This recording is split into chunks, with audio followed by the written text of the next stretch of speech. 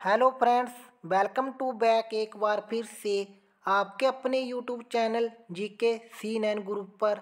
आज की इस वीडियो में हम H P S S C यानी हमीरपुर बोर्ड का प्रीवियस पेपर कवर करेंगे और आज हम जो भी क्वेश्चन के आंसर करेंगे H P S S C की ऑफिशियल आंसर की के अकॉर्डिंग। और दोस्तों, अगर आपको किसी भी क्वेश्चन में डोट होगा तो कमेंट करके ज़रूर बताना।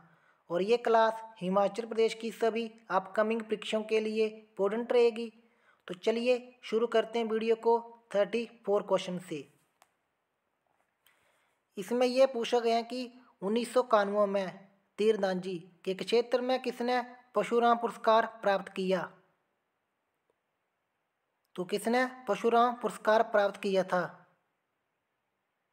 तो इसका जो राइट आंसर होगा शकल जंग Dorjee. Option A.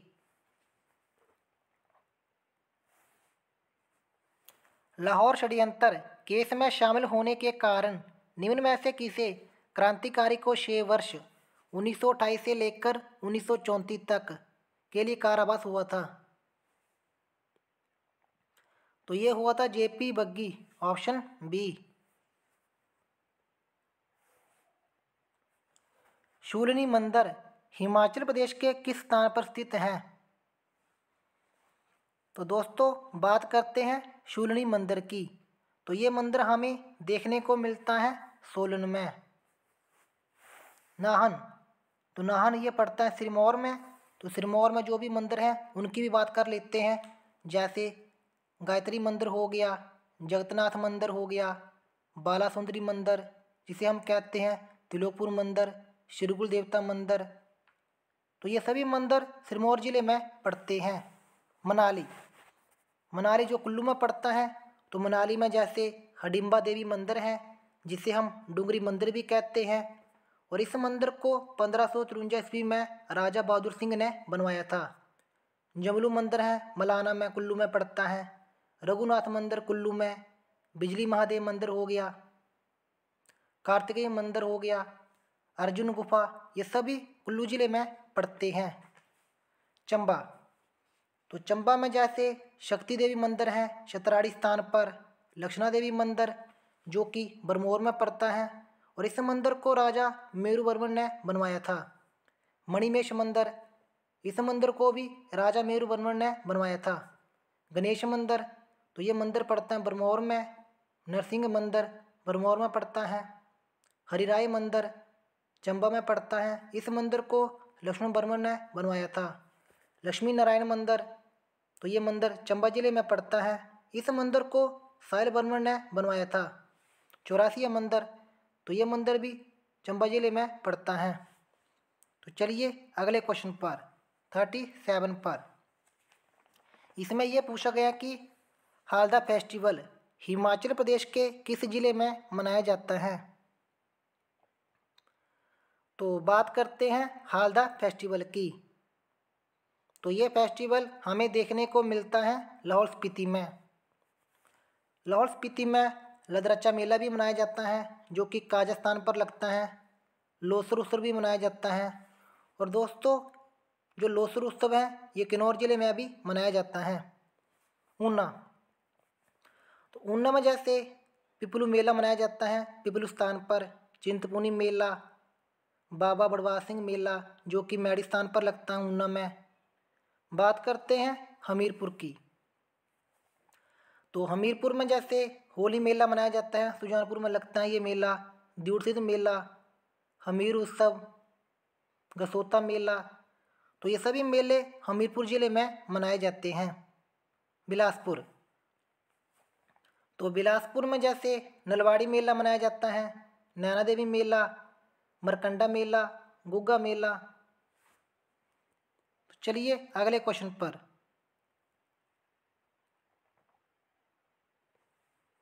Question number thirty eight इसमें यह पूछा गया कि कार्थी हिमाचल प्रदेश के किस ज़िले का लोक नृत्य है?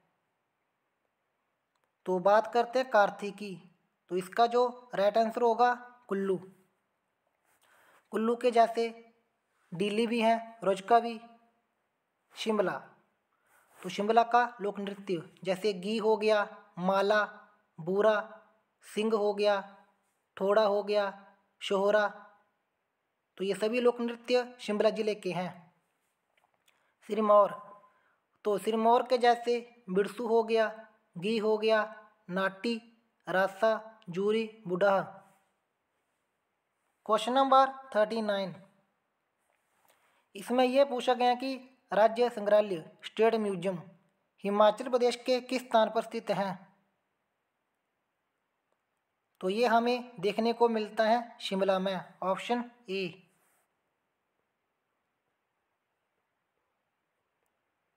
Question number forty.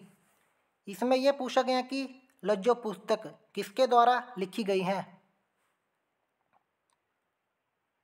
तो ये लिखी गई है शांता कुमार के द्वारा। और शांता कुमार ने कुछ और भी पुस्तकें लिखी हैं, जैसे धरती हैं बलिदान की, पहाड़ बगाने नहीं होंगे, हिमालय पर लाल छाया। बात करते हैं रंजोर सिंह की। तो इन्होंने पुस्तक लिखी है, तारीख ए रियासत, सिरमौर। विक्रम कायासत। तो इन्होंने पुस्तक लिखी है, हिस्ट्री ऑफ़ मंडी। राहुल संक्रियातन। तो इन्होंने पुस्तक लिखी है, किन्नर दश। और दोस्तों, इन्होंने एक और पुस्तक लिखी है। कमेंट करके बताना राहुल संक्रियातन के बारे में। Question number forty one. इसमें यह पूछा गया कि निम्न में से किसे बायसरिगल लॉज के नाम से जाना जाता है? तो ये जाना जाता है Indian Institute of advance study, option C.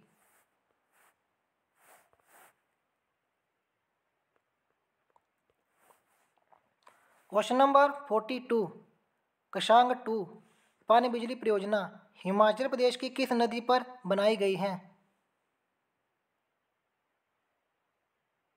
तो ये बनाई गई है सतलुज नदी पर, ऑप्शन डी। और कमेंट करके बताना कशांग टू पन बिजली परियोजना हिमाचल प्रदेश के किस ज़िले में पड़ती है? टुंडा वन्य जीव अभ्यारण हिमाचल प्रदेश के किस ज़िले में स्थित है? तो बात करते हैं टुंडा वन्य जीव अभ्यारण की। तो ये हमें देखने को मिलता है चंबा में। चंबा में जैसे तुंदा वन्य जीव अभ्यारण भी है कुगती वन्य जीव अभ्यारण कालाटो खजियार सेचुतवान नाला, गांगुल सियाल बेही तो ये सभी वन्य जीव अभ्यारण हमें चंबा ज़िले में देखने को मिलते हैं। कांगड़ा। तो कांगड़ा में जैसे महाराणा प्रताप सागर वन्य जीव अभ्यारण दौलादार वन्यजीव अभ्यारण मंडी। तो मंडी में जैसे बांदली वन्यजीव अभ्यारण नारगू वन्यजीव अभ्यारण शिकारी देवी वन्यजीव अभ्यारण किन्नौर। तो किन्नौर के जैसे रक्षम चितकुल वन्यजीव व्यारण रूपी बाबा लिपा सरंग। तो चलिए अगले क्वेश्चन पर। फोर्टी फोर पर। मार्च उन्नीस सौ और फरवरी उन्नीस सौ के मध्य हिमाचल प्रदेश के मुख्य आयुक्त कौन थे? तो दोस्तों, यहाँ पूछा गया कि मार्च उन्नीस से लेकर फरवरी उन्नीस तक। तो इसका जो राइट आंसर होगा, भगवान Sai option D NC Mehta नहीं होगा। हिमाचल प्रदेश लोक सेवा आयोग का गठन किस वर्ष हुआ था? तो एचपी पब्लिक सर्विस कमीशन तो इसका जो गठन हुआ था उन्नीस सौ इकहत्तर में,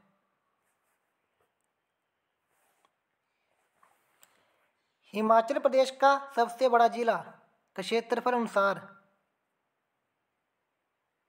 तो कौन होगा? लाहौल स्पीति। तेरह हज़ार आठ सौ पैंतीस वर्ग किलोमीटर। और सबसे छोटा कौन है? हमीरपुर। और दोस्तों, कमेंट करके बताना हमीरपुर का जो वर्ग किलोमीटर कितना है? नूरपुर का ओल्ड नेम तो क्या होगा? द मेरी हंड्यूर किसका है? नालागढ़ का। और कहलूर, बिलासपुर का। और बानेद किसका है? कमेंट करके ज़रूर बताना।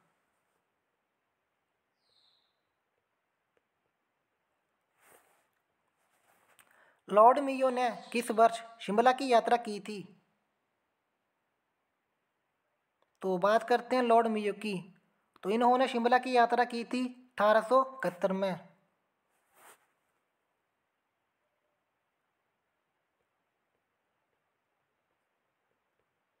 चलिए क्वेश्चन नंबर फिफ्टी टू पर।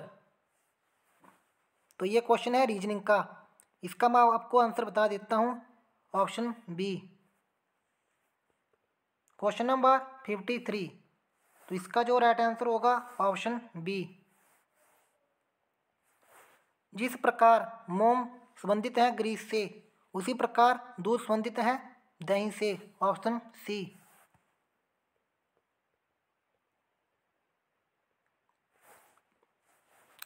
बीस फरवरी उन्नीस सौ निन्यानवे को शनिवार था तो तीस दिसंबर उन्नीस सौ चौरानवे को सप्ताह का कौन सा दिन होगा? मंगलवार। पादव के किस भाग से हल्दी प्राप्त की जाती है? तो पादव के किस भाग से? तो ये प्राप्त की जाती है तने से, ऑप्शन ए।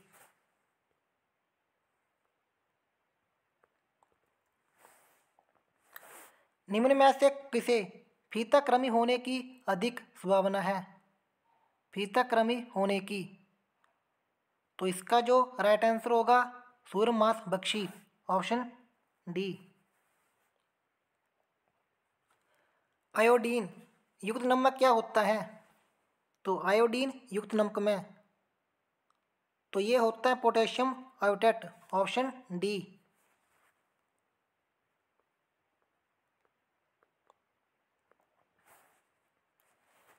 कैलिबियन किसके मापन के लिए उपयोग होता है? तो ये होता है टेम्परेचर के लिए, तापमान के लिए। निम्न में से किस कुषाण राजा ने संपूर्ण विश्व का भगवान का खिताब धारण किया है? तो किसने धारण किया है? कड़पिशेष टू ने ऑप्शन बी दी स्पा सी स्पा व्यवस्था किसके द्वारा लाई गई थी? तो ये लाई गई थी अकबर के द्वारा ऑप्शन ए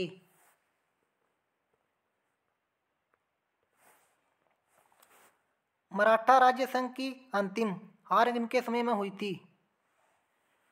तो जो मराठा राज्य संघ की हार तो ये हुई थी हैसिटन के समय ऑप्शन सी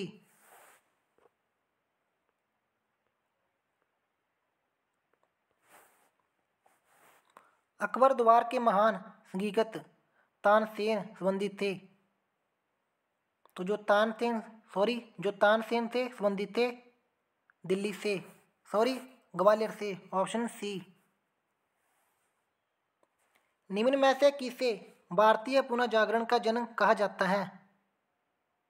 तो भारतीय पुनः जागरण का जनक तो ये कहा जाता है राजा राममोहन राय को ऑप्शन डी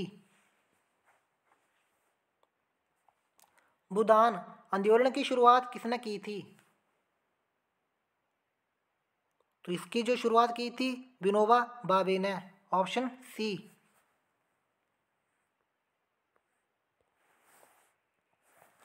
राज्य विधानसभा के सदस्यों को कितने वर्ष के लिए चुना जाता है?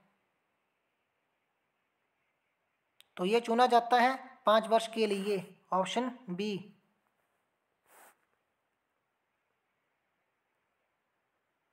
Question number sixty seven इसमें यह पूछा गया कि उच्च न्यायालय में न्यायाधीशों की संख्या कौन निर्धारित करता है?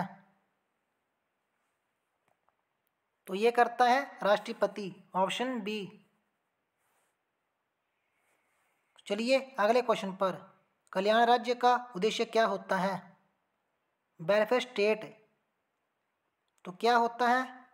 प्रजातांत्रिक समाजवाद, option D. Question number next आधुनिक अर्थव्यवस्था क्या है? मॉडर्न इकोनॉमी तो क्या है? Open economy option A question number seventy under the lead bank scheme a bank was expected to adopt a तो इसका जो राइट आंसर होगा ऑप्शन सी डिस्ट्रिक्ट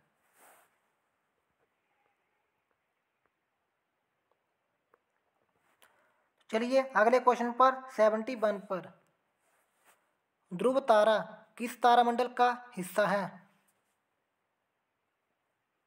तो ध्रुव तारा तो ये हिस्सा है लिटिल डिपर का option D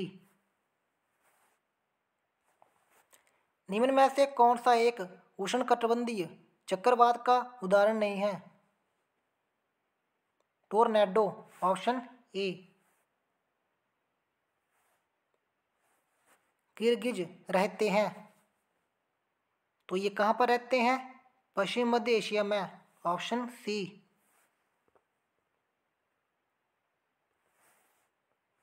question number seventy four. निम्न में से कौन सी एक रोपण फ़सल नहीं है? रोपण फ़सल। ऑप्शन सी गन्ना। भारत का राज्य जहाँ हर वर्ष केवल तीन या चार महीने सूखा मौसम रहता है।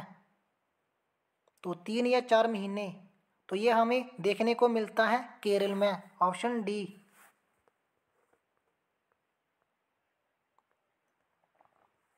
तो अगला क्वेश्चन है सेवेंटी सिक्स अटोनियम। डिस्क्रिपेंसी तो क्या होती है डिस्क्रिपेंसी तो ये होती है असमानता डिफरेंट तो इसका जो आंसर होगा कंसिडेंसी मिलान। Option C.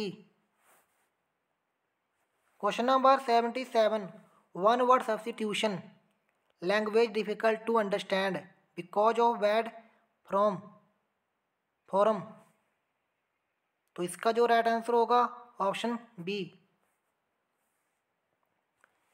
he does not know how to look a word in the dictionary तो इसका राइट आंसर क्या होगा? Option B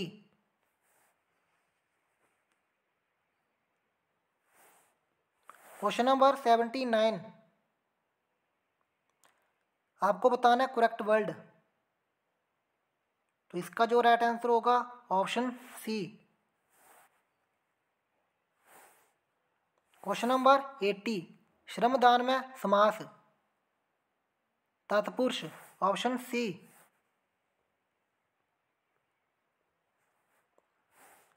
ग्रंथ का बहुवचन। तो इसमें आपको बताना है ग्रंथ का बहुवचन। तो क्या होगा? ग्रंथों। Option B. दरबार में प्रत्यय। बार। Option D. Question number eighty three. Ganga का पर्यायवाची सुरसरी। ऑप्शन ए तो दोस्तों, ये थी आज की वीडियो। अगर आपको वीडियो पसंद आई तो वीडियो को लाइक और शेयर कर देना और चैनल को ज़रूर सब्सक्राइब करना। मिलते हैं किसी और वीडियो में। जय हिंद, जय हिमाचल।